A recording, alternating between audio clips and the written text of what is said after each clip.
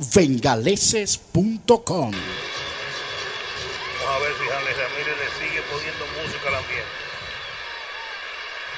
Ali Ramírez, bateador presidente.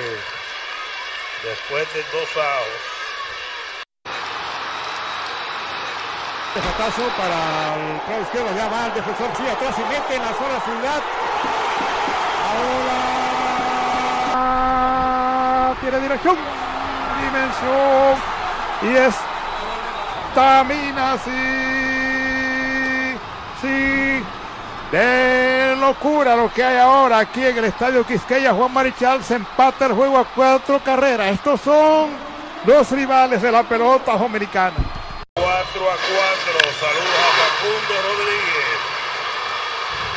Ahí tienen ver la repetición del batazo. Batazo descomunal de Alex. Juan Francisco conecta foul fuera de juego.